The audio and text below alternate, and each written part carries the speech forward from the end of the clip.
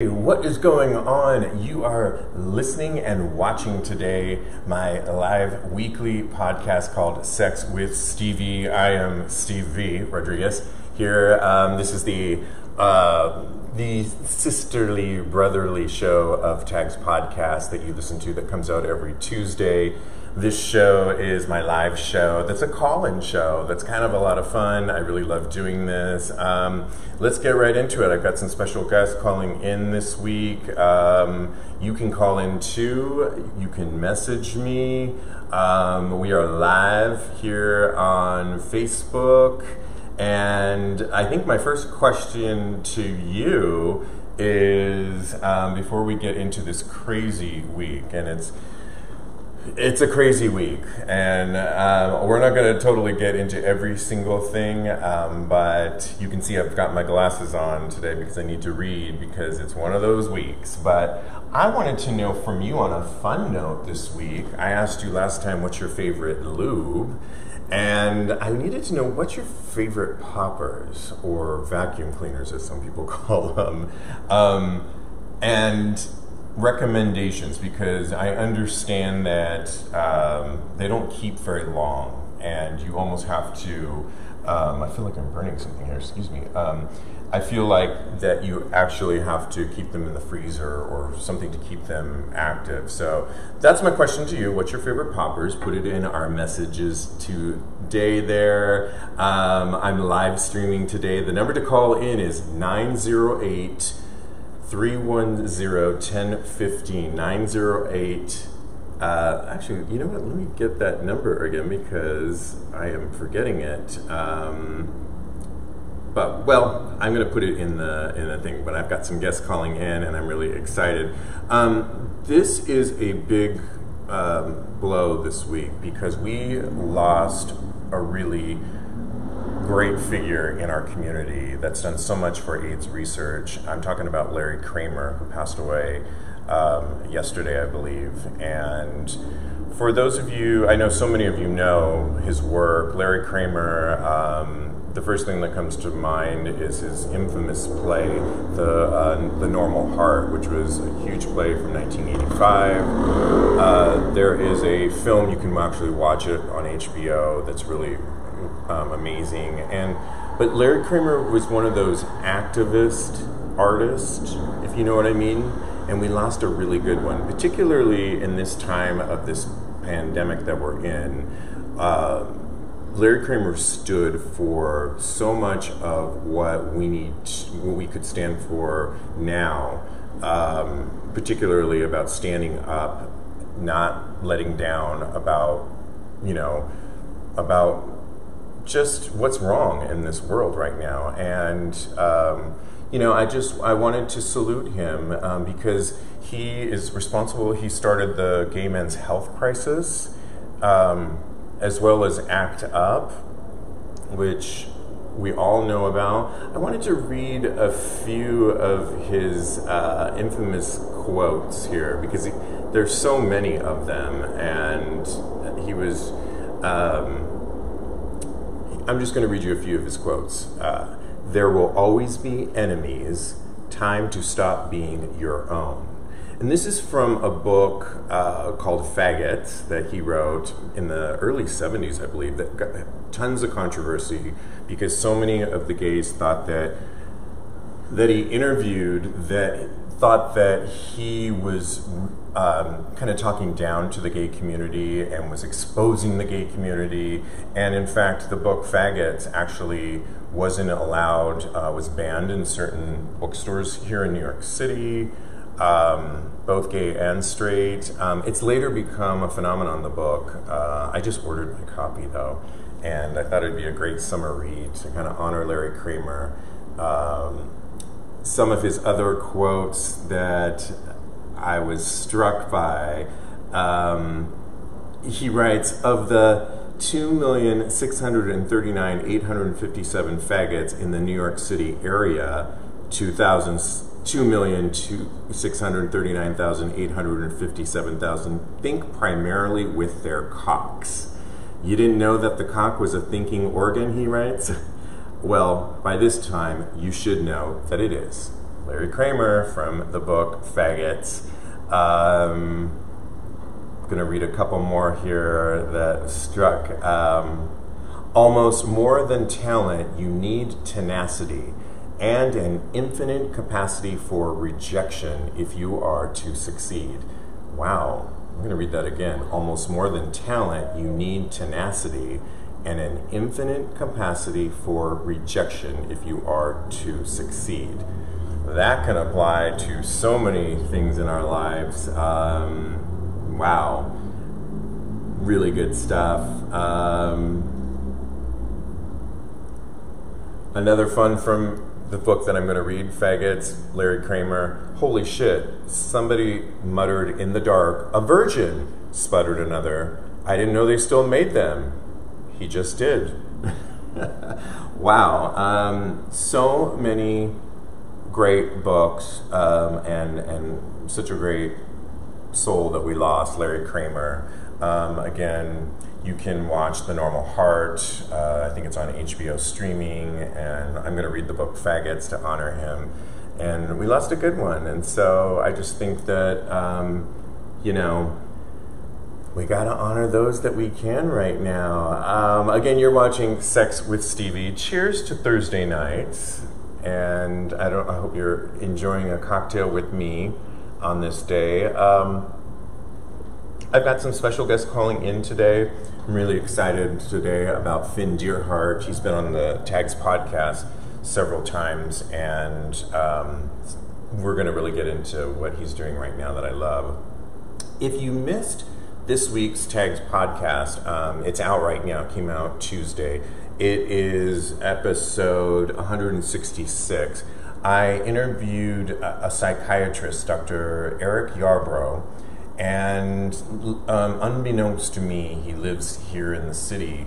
And I was really excited. And he's a psychiatrist. And I thought, when it's this is probably the time right now when we should probably be checking in with our mental health.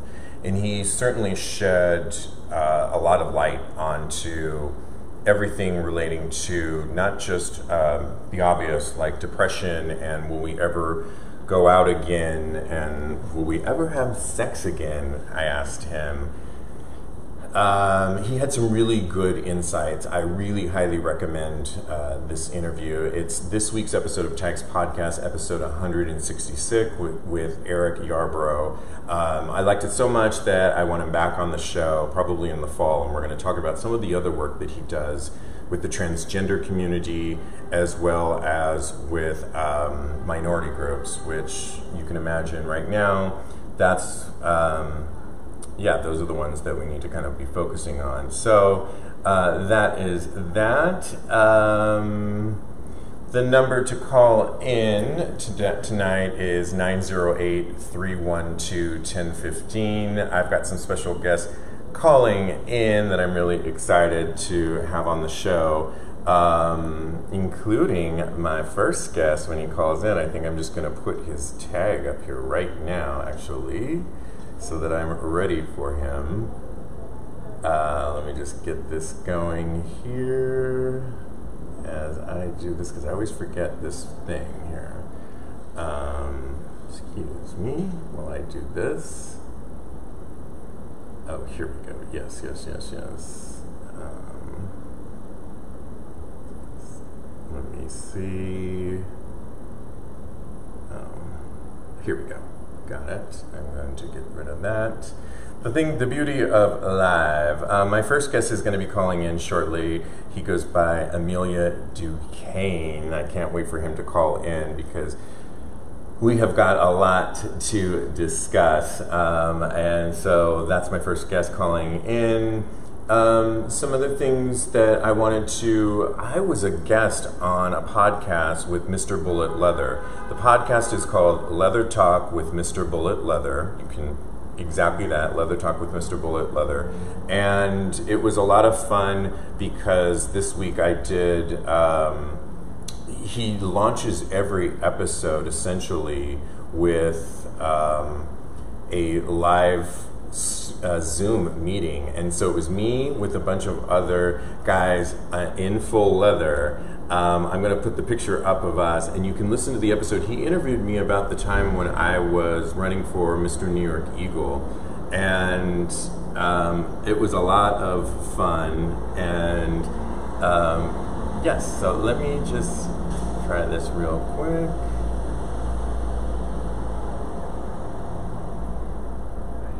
Hello, hello. Ah, that's what it is. I'm sorry. Yeah, um, my my thing here. Yes, exactly. Um, please welcome my guest today, Amelia Ducaine. How you doing?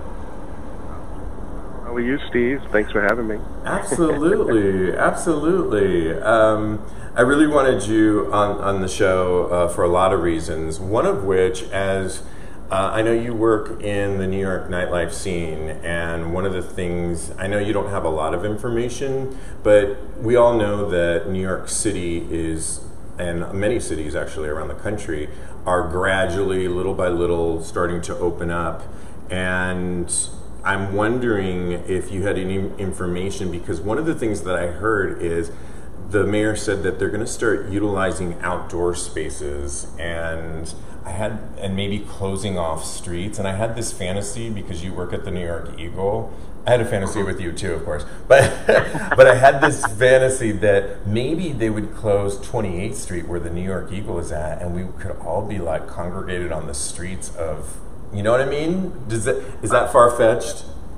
I, I hear you on that one. Um, I'm not too sure. I mean, I would think if they did, my personal opinion would be 27th Street, right around just as they do like the you know the the, the, the Folsom Street event, you know, because it's not blocking any residents, it's not blocking another business, and you know they've kind of I guess had permits to do that on that street, you know. Right, right, yeah. You're talking about every year that was canceled actually this year, but you're talking about Folsom East, the sister Correct.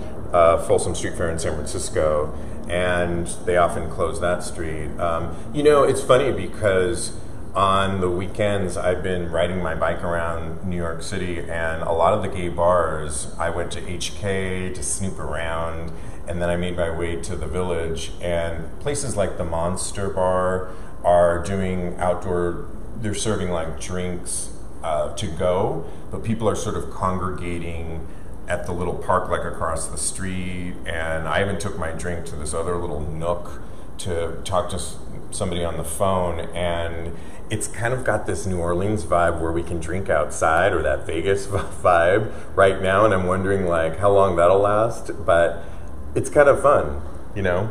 I, yeah, they're, they're, do, they're doing it out here in Long Island um, as well. I've seen a couple of you know, bars and, you know, takeout uh, places that do, you know, drinks and food or whatever the case may be. But I, I, me personally, again, think that it's just unsafe to do that. You know, again, people, you know, when they start to drink, they get a little bit more close, you know, and then you just have that wandering, you know, stranger on the street that knows, okay, these folks have money in their pocket. You know, is this a good time to to stick them up or anything like that? I'm just nervous that there's some sort of you know, accident waiting to happen behind that, you know, because you have these, you know, people who are drinking on the streets. I mean, what's your thought on that? My, you know, it, it seems to work in some of these. I was talking recently to somebody in like in London. It seems like they managed to let them drink outside of pubs, and it and it all works fine. Um, but I don't trust myself sometimes, so there's that. Um, the other thing I think about it is that, um, you know, like we were seeing around the country, are, are people just going to get too comfortable? Obviously, you have to pull your mask down when you have a cocktail. Um, and so people's inhibitions, and particularly with alcohol and such, might go down, and it's not like anybody ever said that the pandemic or the virus has gone away, and so yet, and so I think I'm I'm mixed on it. I mean, I do want to get together with people, but I feel for some of these businesses, particularly the one my guest this week, uh, Dr. Eric Yarbrough, a psychiatrist, is a big Eagle patron, and he he said if if there was a fund, he would love to support it, and you know what I'm saying. Yeah, I mean, again, we're waiting, you know, and anxious just as everybody else is. You know, as soon as we hear something, you know, if we're allowed to say something, we will because, you know, we miss everybody. We love everybody. You know, that's my second home away from home, you know, and we have a great family there. You know, we all kind of keep in contact with each other. We've created, well, my colleague Kyle um, Applegate, if you guys Yes. don't know Kyle, the boot black at the Eagle, but he's come up with this Eagle family. It's just all bonded together. Some of the bartenders, some of the co-check guys, the security, and you know we kind of all keep a a loop on each other. We do a lot of FaceTiming, a lot of house party apps and stuff like that, just to you know keep each other afloat. And um, we're just as anxious, like I said, as as you know all of the patrons are too, just to get back and see each other, our Eagle family, as well as you know all the patrons. We we miss everybody. You know. It's a family there. Um, you know, one of the yeah, absolutely. One of the things that I wanted to uh, particularly ask you is one of your more recent traditions. It seems following you, being a friend of you, is every summer. I think it's maybe the Fourth of July. You make your way to P Town for Bear Week, which is uh, anybody that knows P Town. I have a love affair with it, like so many of us do. Bear Week in particular is crazy and so much fun and and I'm just I think I saw you post something it must have been like a throwback Thursday thing being throwback Thursday um, what can you tell me about this I mean I'm assuming it's canceled or, or what Yeah, definitely canceled. The Fourth of July is canceled. Um, you know, again, I go for Bear Week, which my birthday falls during that week, so I'm really upset. You know, this would have been my eighth year straight going to P Town for Bear Week. Um, you know, they canceled Carnival, so I, I'm in contact with you know Mary Alice, who's the DJ at the boat slip. And it's just, it's very sad for all of us. You know, I had my costume, you know, in plan for this 2020 like burst so I can't do that. But um, I just love going there. I was introduced uh, again when I turned 30, and I was actually nervous to bring this whole drag scene up to P Town because I've heard it was just like this, you know, playground of just bears and daddies and it's whatever you want it to be. It's magical, and and and I says I'm not I'm, I'm not doing that. I'm not doing that. I'm not bringing drag. I'm not shaving my hair, you know. And my friend says, all right, we'll give the room to someone else. And I called my, you know, partner at the time, and I was just like, and he's like, Steve, you know, I'll just do it. And so that first year, of course, nervous as hell, walking down Commercial Street in these heels, making sure that I don't fall. You know, it, it was just so much anxiety going through my head. What are they going to think of me? And I get down to tea dance, then the boat slip, and I says, you know what? Let me just forget about this all and just have fun on your birthday weekend. And then the the joy, the the people that just reach out and pour to me that I've met over the the, the years is just amazing. They buy me drinks. It, it's it's so magical. And uh, you know, that first year I actually jumped in the boat slip pool because I was so nervous. I'm like, this girdle's tight, you know, this wig, I'm sweating, my my makeup's gonna run, and I just took it and just jumped in the pool. so that was a statement that these guys will always remember about me, and uh, I, I'm gonna definitely miss it this year. You know, definitely.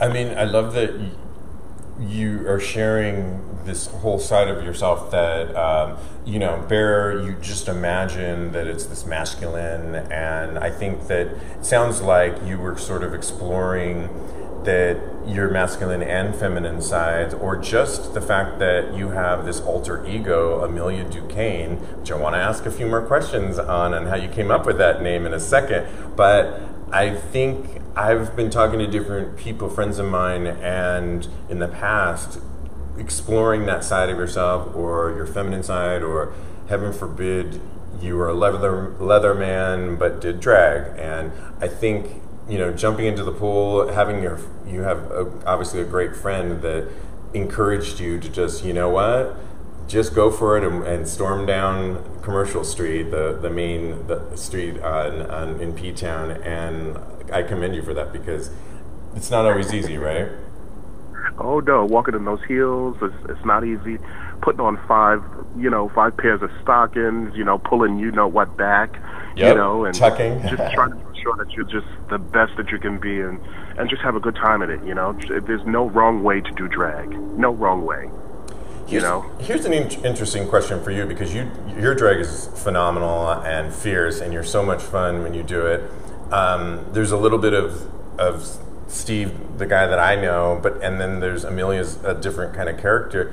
Do you feel sexy? Are you looking at guys when you're in drag, or does that go out the door and you're not even worried about all that sexual work, sexual side No, of yourself? it- No, and you know what's so crazy about this question? I was talking to another fellow queen of mine out here in, in Long Island, and I asked the same question: Do you feel sexy when you do drag, and that whole bit? And do you indulge in, you know, do you participate in sexual activity while you're in drag? No, I don't. I mean, I've done things just with my ex, you know, just as a, a, a goof, Right. just to see. But um, I don't feel there's a sexy part of it about me. I think there's a glamour part of it, a pretty side of it a fierceness. you know, a fierceness, you know, a little sassy. You, you, you know, every time I do it, it's it's a different attitude. It's a different burst of energy. You know, it's fun. It's just fun. I love it. Okay, so we got to ask you. Um, I, I can't believe I don't. I've never asked you this question, but where did the name? It sounds to me so dynasty era. Amelia Ducaine, and I love it. So, when I first met my ex, you know, I, I went to the bunkhouse out here in Long Island, down over by uh, Sayville, and um, where the ferries are, and they had drag shows, and they had an emerald party. And I said, you know what? I want to see what I look like. So my friends encouraged me again to do this. So I'm on, you know, eBay, and I bought this $99 cheap dress. And then my ex at the time, he says, if you're going to do this, I'll buy the jewelry. He worked for Fortunoff at the time. Wow. So he used to get me like jewelry, and then he switched over to the backyard store part. So he sold outdoor furniture. There was a Ducane grill. If you guys don't know, Ducane is a sister company to the Weber family of grills. Okay, now. So that's where the Ducaine came from. He also drove a Volvo convertible.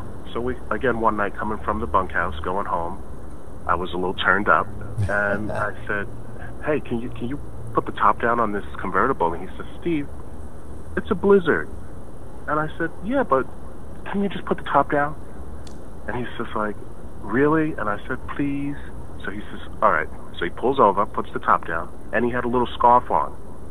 And the funniest thing driving home that night in this blizzard down Sunrise Highway in Long Island was this little scarf that was blowing, and I just repeatedly said, "You look like Amelia Earhart."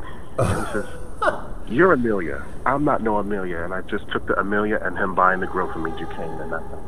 I love that story so much. It just fell into your lap. Amelia Ducaine. Love it.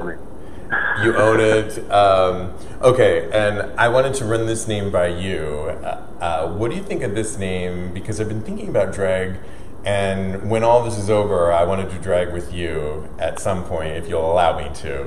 Um, Okay. but, and be honest, um, what do you think of the name Donna Matrix?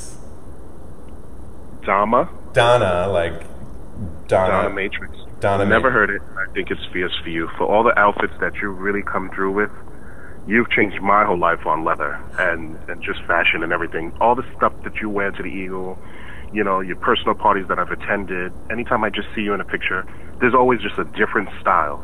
And I think that you really come through with that leather look, and Donna Matrix is the name for you. Wow, I, I feel like I've been crowned here, and I kind of feel like I would be, I would feel sexy. You know, I would try and dress like a lot of my leather stuff, but kind of in a dominatrix styling. And who knows, maybe I'll get some something something. Okay. We'll see. Well, I will. I will get you something. I will get Don. I will get Donna, Donna Matrix something I love it. remember Amelia Ducaine, and I just love it because I could just see your face now with all the different hairstyles as well, without even a wig. Just the makeup on that face and a funky hairstyle, giving us a Donna, Don, Donna Matrix. She's a tongue twister. Okay. and I love it. our question of the night is: Do you happen to have a favorite uh, poppers that you recommend by any chance? I do. Oh, good. I I actually like the Leatherworks down in I think it's Fort Lauderdale. Uh, My friends usually bring it up. Yep. Their brown bottle. as as well as the Leatherman Brown Bottle. Those are my two favorites. Hey, okay, I love it. I so if I'm in New York, that's my favorite.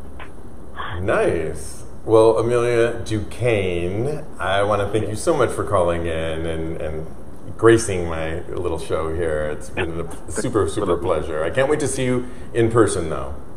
Yes, I love you. God bless. Stay safe. And I hope to see everyone soon. All right. Good night, guys. Good night. Sorry, sorry. I'm, I'm having some technical difficulties, but I think I figured it out here.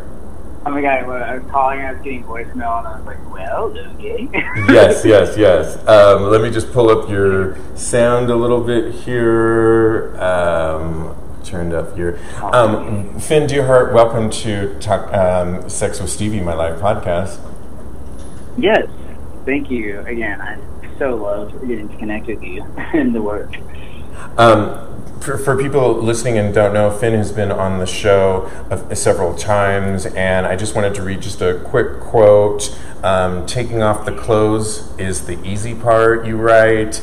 I can help. I can help with the rest of it, and I love that. Uh, Finn Deerhart is a sex and intimacy coach. He's been on the the show um, several times. Um, I'm going to let people listen to some of those shows, and I'm going to put them on tagspodcast.com. Um, you do these workshops. I want to get into a video that I watched recently um, on fantasy, and that's why I kind of wanted you on the show. But I'm just curious because a lot of the work as a sex and intimacy coach is you travel around the world, and how has this pandemic changed what you do?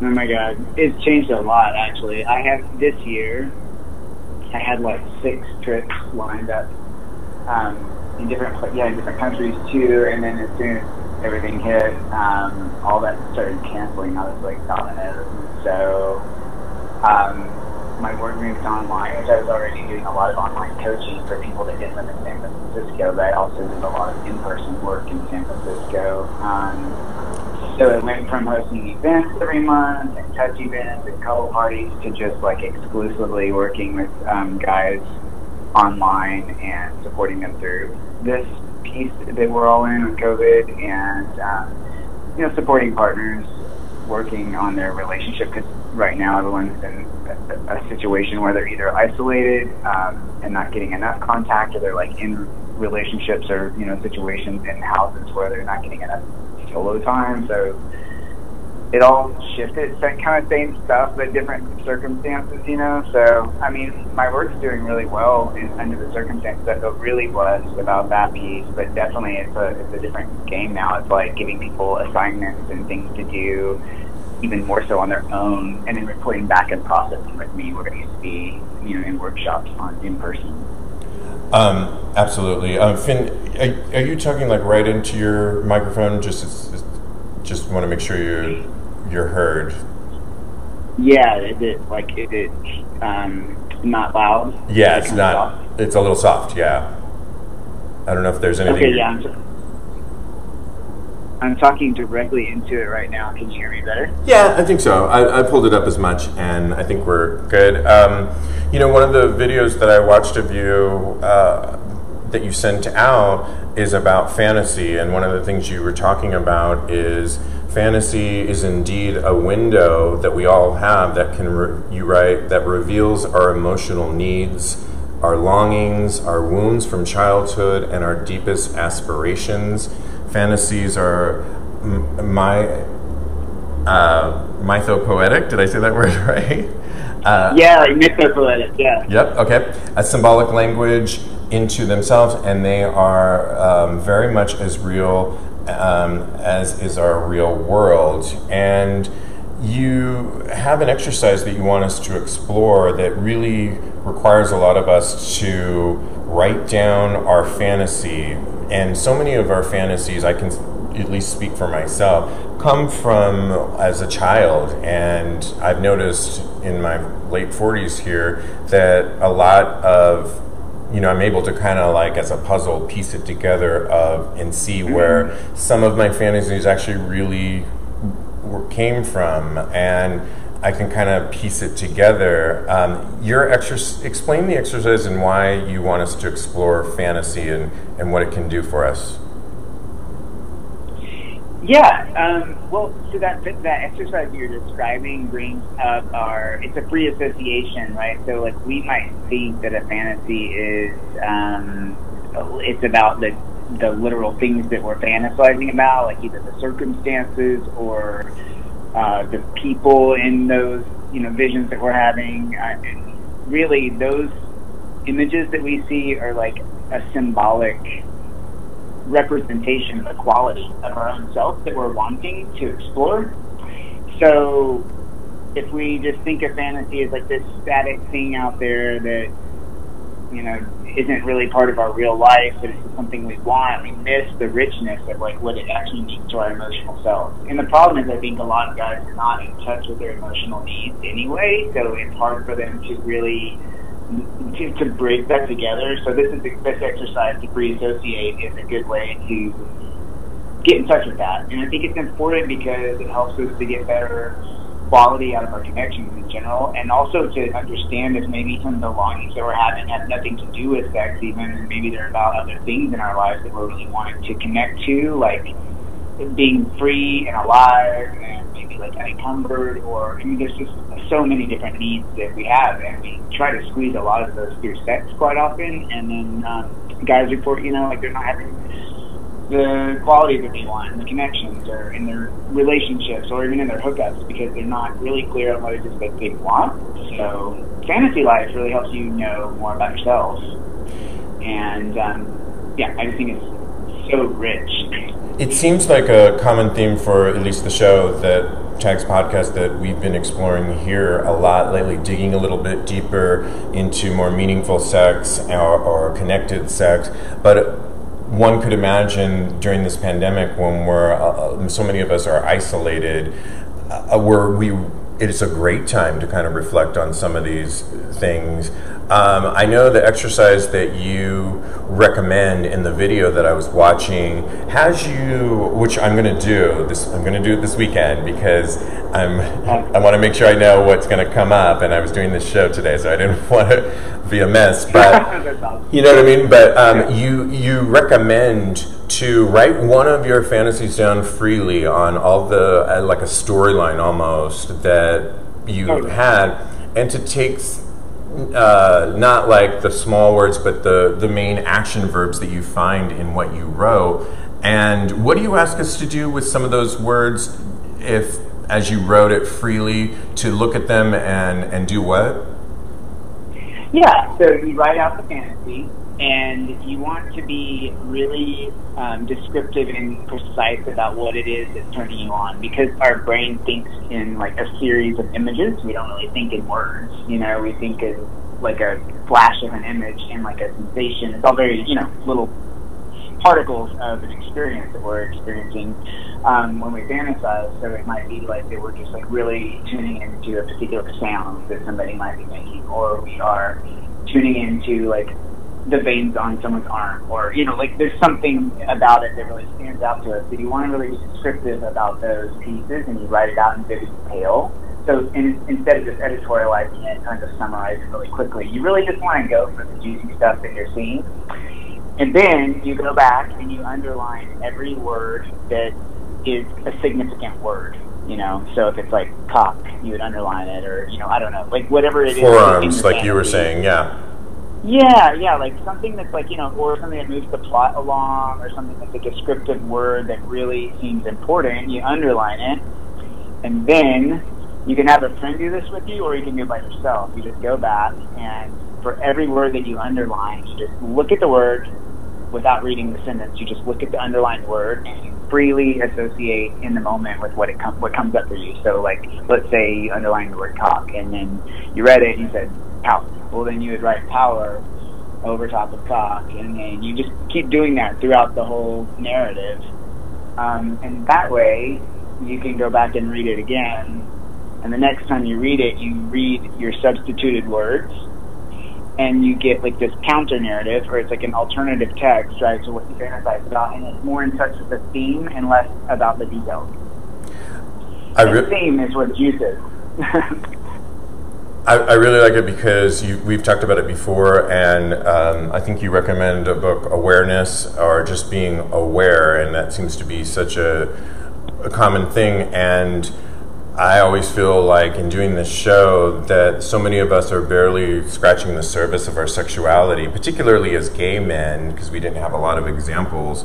And so Right. to do that, I love this. I'm going to do it this weekend because I think when you just write freely, so many of us for so long have these fantasies, but we haven't questioned like where did these even come from? And I bet we're going to find certain certain words that are going to make us think about where they originated from. I, I wonder in this time of, of so many of us are, you know, self quarantining and all that, can some of this really pull up trigger points that could be emotionally, real emotion, emotional for us? Yeah, absolutely. If you say more like when you say like pulling up trigger points, you mean like things that someone might want support about, or just something that you might want to look at? What do you- Well, I think I'm just wondering as you do this exercise and you're freely writing the fantasy and then you're putting the words that the actual association is is there a part of this could that could actually trigger some childhood traumas and and and and what precautions do you kind of recommend for people if they're doing this at home maybe by themselves um, should they be kind of in a good space that kind of thing Uh, yeah, I see what you're saying. Um, yeah, I mean, totally. If you feel like you're, um, do it when you're obviously you're in a good space and if you're feeling kind of grounded. If you feel anxious, maybe it wouldn't be a good time to do this. Also, because if you're feeling anxious, you're going to be less in touch with the depths of what's going on for you. But if something does happen to come up for you that feels like you want some support around, absolutely would take it to like a sex therapist or a mental health professional to, to talk about it more. Because I mean, whatever we're doing in our sexuality, it is touching the stuff that formed us, you know. So however however you came into your current state as a gay man or like, you know, whatever it took to get you to this point in your life is part of your erotic narrative. So sometimes it does bring up stuff with people that's a little challenging to look at.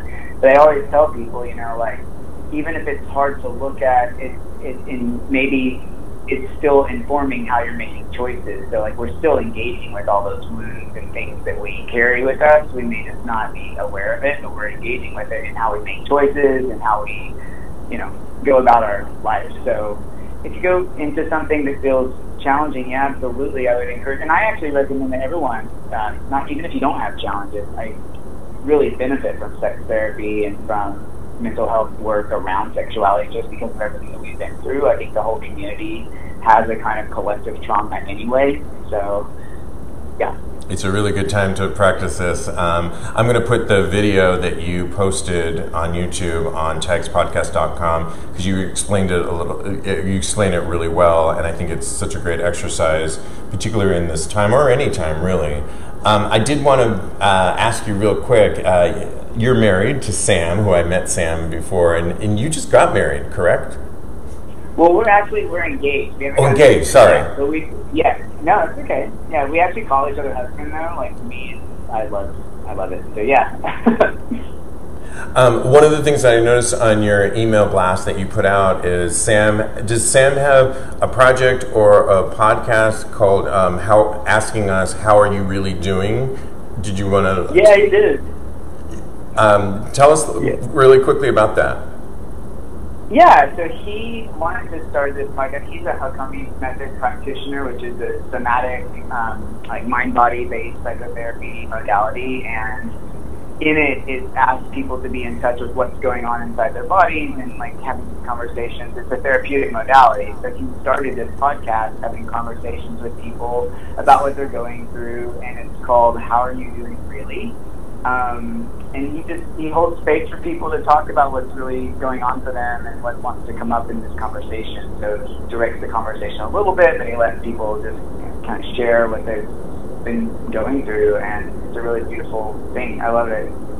I love it. I'm going to tune in because I think our governor here in New York is asking that same question because so many of us say, "How you doing?" like just a throwaway, and that question, "How are you really doing?" like particularly now. Right. Um, is really checking with people, and that's what we really need. Finn Deerhart, I want to thank you so much. How can people? Uh, I have it listed right there. People can follow you on Instagram at Finn Deerhart. Um, any other ways during the summer, or that you want people to check in with you, or if they want to take some? Yeah, dude. Yeah, thank you. Yeah, I would just say go to my website. It's on my website, it uh, I put everything, my blogs, my events, everything goes through there. So sign up on my newsletter. Right when you land on the landing page, you can sign up, and it's finndeerhart.com. It's D E E R H A R T.com. I love it. I love it. Um, it's always a pleasure to talk to you, Finn, and I can't wait till we can see each other in person and connect again. Dude. Me too. I love you, and I really appreciate this conversation and putting this out there for guys, and all the everything you're up to. You're just like constantly putting out stuff for people and like allowing different perspectives to be heard. And I think that's so cool, and I really, really appreciate you. Thank you so much, Finn. I'll talk to you soon. Okay, brother. All right. Bye. Awesome, Kodi. My Kodi Maurice, my co-host. Um, how you doing? I'm doing great. How are you doing? It's good to hear your voice. It's really you. Actually, I see you on the. Exactly. What happened? What are you saying? I'm, I'm yeah. just putting your your tag up there um, so people can see who I'm talking to. My co-host Kodi. Um, so we talk every week. We catch up, and um, you know, I have to ask you. It might sound redundant to you, but we get a lot of new people calling in or, or checking in on the show. And you were seeing somebody prior to the pandemic, and uh, we always like to mm-hmm. check in to see how you're doing because it's like our we're nosy bitches over here. Um, how's it going currently with him?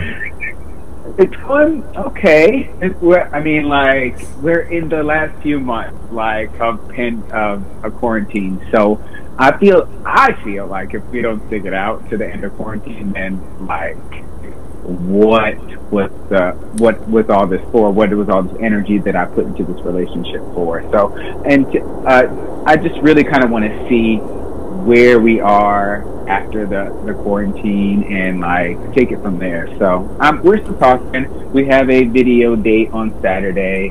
Um, I'll let you know how it goes next week. it's interesting though, this yeah, because as we just start to see these incremental uh, movements of parts of the country opening up, and New York is yeah. is part of that conversation yeah, I would imagine that you're probably wondering, like you you've managed to keep in contact through this whole quarantine, and damn it, like we better like at least be getting together after this. I mean, otherwise, yeah. like we're we're near the end now. Like what, we need to do something. we need to at least get together. absolutely, absolutely. All right, well, good. I mean, I like that. That's a um, you know real i want to get into a couple of hot topics and but one of the ones we've talked both this week i had a doctor a psychiatrist on the show talking about our mental health yep. and mm-hmm. um, you know i know that both of you and i have shared how it can be ebbs and flows during this self-quarantine and 100% yeah i'm just curious to know how you're doing lately uh, with everything you know, my last guest just um, said his husband has a whole thing like, "How are you really doing?" kind of thing that we don't always ask of our friends and our loved ones. Yeah, and that's something that we need to ask people. Like even your the people that on the outside they look like they're really strong. Like you never know what they're actually feeling on the on the inside. So it's always good to check on on, the, on your loved ones and the people that you care for. Um, as for me personally, um, I've just been keeping in contact with my friends and family, you know, confiding in them and making sure that they're okay as well, and and just just making sure that connection is there and and, and holding close to the connections that are dear to me. So that's that's the way I've been getting through. That sounds exactly what I've been doing, and exactly one yeah. of the things that uh, Dr. Yarbrough said is, you know, and be aware of your own behaviors. So if you notice mm-hmm. maybe you know, whatever it could be, or having a little bit more wine, or it could be anything. You're getting off of a certain Yeah. plan, but he, you know, you're not talking to or checking in with your crew. Those are the things that can kind of keep you um, in line, and so I think, yeah, that's all we can do, right? And exercise and keep that mind going. And and you, we're all going to make it. We're all in this together and i'm kind of excited that i have the same opinion as a doctor i'm like Okay. that made me feel really good so Absolutely. Well, one of the things that I, a juicy thing that I wanted to get into it with you is uh, early on in Sex with Steve V, this live podcast, I had a guest on the show, DJ Dan DeLeon, who has a current web series called The Circuit. You can watch it on YouTube. It's called The Circuit, and it's about the gay uh, club scene, the gay, obviously circuit scene. You and I, um, I've known Dan for a long time, and he's one of the producers on this web series, and uh, it's actually really good. We both liked it. Well, cut, Yeah. Cut to a recent phenomenon that so many of us know about. There was uh, they they were calling it Roni and the Rave, where a bunch of gays here in New York City got together and had sort of like a, a circuit party at someone's apartment with DJs, and there was a couple people, including one or two of the characters that are in this circuit web series. They were Yeah. at this, and they were posting on their their social media, hey, at like freely flaunting that they were at this all night circuit party thing. Well, I know I sent you the link. I'm not sure if you had a chance to see it, but the current episode of The Circuit, which I'm going to put in tagspodcast.com tomorrow, or you could just go to The Circuit on YouTube, deals with this. And the actual producer of it um, confronts them. And did you have a chance to watch it, Kodi? I did watch it, and I'm so. It makes me so. It it really. Um. Uh. I'm sorry. It really like shows a lot of responsibility that they're addressing this. Um, so I'm really happy that they actually took the time to address this situation. It shows so much responsibility on the production side. So I, I really enjoyed it. Uh, It's and juicy, right? Outcome- and I- It, I told you it was going to be. This was going to be a dramatic series. I was like, You I- were so right on. I nailed it. I called it. I should. You know what? I'm playing the numbers tomorrow. I'm, I'm winning the lottery. You are so right on it. Um, yeah, we won't give away too much of it, but one of the things I will say in that, you know, when people make mistakes and people do things, the I think there there needs to be consequences for people's actions. Yeah. I don't think we need to crucify people, particularly when people want to do better. And they're and in this situation, we'll let people watch the whole episode, but they are confronted with their actions and and openly talk about it. And I don't think it's you know one of the things like in a lot of situations that we're seeing currently play out currently is people like to crucify and then things like death threats and all that kind of thing come about and it's to me it's so unconstructive that any point that you're trying to make or you know school if you need to school them is missed and Goes out the window. Goes out the window. I agree with you. Yeah. I thought, Um, yeah go ahead the death threats are way too far. I get the I uh, I get the anger and um, the animosity that people have towards this type of behavior that these people exhibited, but you, I personally, it makes me just as bad as them if I wish death on people like that. That's just way too far. It makes me worse than them actually. So two wrongs don't make it right. That's what I always learned as a kid. Exactly, and these guys really. Uh, kudos to the circuit, and I'm just blanking on the the producer's name right now, but um, I will put it on tagspodcast.com. You can look for the circuit. It's the current episode called Roni and the Rave, and I think it was very creative and in the moment and true reality TV in our community. That I mean, I don't know what else you'd want in a show. I'm I'm ready for it. I mean, like it just touched on so many things that are so current right now. So Yes. I'm here for it. I, and I knew that. Uh, I'm just glad they addressed it. Um, before we get into tomorrow's finale of Drag Race, which I got to get your, I know, and I know you're a huge super fan. Um, there's a movie that debuts tomorrow that uh, with Tracee Ellis Ross called High Note. Are you aware of the film? What? High Note. It was a film. Have you? Do you know what I'm talking about? No, I don't. This is I'm all new this. information to me. I hope I'm saying this right. Vivian Mead, if you're watching, please correct me on. Let me just look it up real quick, people, because I. Um, high note, high note. The, okay, excuse me, I got it. The High Note. It was going to be a film that was going to come out in the theaters uh, with. Uh, um, like I said, uh, Tracee Ellis Ross and Dakota Johnson and Ice Cube, and it's about the character of Tracee Ellis. She's a um, a pop star, a, a soul pop star, and which I love because you know her mom, Diana Ross, and she's Yeah. it addresses ageism in the music industry, and she wants to like produce a new um, album, but her team and everybody's like, I think they probably want her to not like do something a little bit more safe, and it looks like it. It's spectacular, and anybody that loves like diva and all that good stuff, uh, it was going to be in the theaters, and it's debuting tomorrow. So I thought we could all do a watch party and watch this thing. Oh, I'm so excited. How did I not hear about this before? I'm a little bit. Some of the points that you gained in all the other areas, I, you're evening out here. I'm just gotta say, but I am slipping. I can't believe it.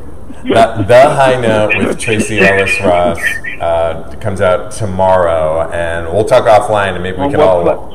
I think it's probably Okay, going to like good. Apple TV, or you can rent it, or, or something like that. Um, I'm really Cool. excited about that. It, um, okay, w- let's get into another thing that's happening tomorrow. It's the final finale of uh, RuPaul's Drag Race, and it's going to be a different year, correct? Because in previous years, it would have been a live broadcast, and we, you people would have been able to go. It would have probably been in LA, and it would have been about performances. What's your insight on what we can expect tomorrow on the finale? Um, I'm still hoping that they, they let Jackie Cox and Heidi N Closet like battle it out for the final spot in the top Oh. four. But Explain that real quick for people that don't watch. So, real quick, there was another contestant that uh, Sh- uh, Sherry Pie that made her way into the final four, but was eliminated because of she was catfish catfishing. In reality, again, our world is really crazy, and she's been disqualified. So, there's really currently three contestants running for uh, the, to be the next drag superstar. And I love your idea, though. yeah, so I, I still think they're going to do like a lip sync for your life format. So them having that one as a preliminary for the final four would be just that would make my my whole season twelve Corona life right there. I love it. I love it. Do you have So, a? RuPaul, call me. I got some ideas about production. I know you probably already filmed it, but oh well. Okay, and um, I had my favorite. I think I said it last week. Jaida Essence Hall is my pick to win. You have a favorite to She's win? my favorite. Okay, Jaida Essence Jaida, Hall. Jaida, Team Jaida all the way. Okay, all right, Followed, awesome. followed closely by Gigi Goode. Oh yes, you know what? All of them I like. I like them all a lot. So, Yeah. um, but yeah, I hear you. Um, Kodi, thank you so much as always. Um, I'm going to call you this weekend to um, talk about this, the high note, and all this other good stuff. Um, but thank you got as always, and I'm glad you're doing really well. Thank you, love. It's so nice to talk to you. Talk to you soon. All right, thanks. Bye. Um, I want to thank I want to thank you all for joining me today for Sex with Steve V, the live podcast. This show gets repackaged, and you can find it in the Talk About Gay Sex podcast anywhere you get your podcast. It comes in on Friday. Show notes for everything that we've been talking about and links are at tagspodcast.com, T A G S podcast. Thank you so much. Keep being safe and healthy and being sexy. I will talk to you soon.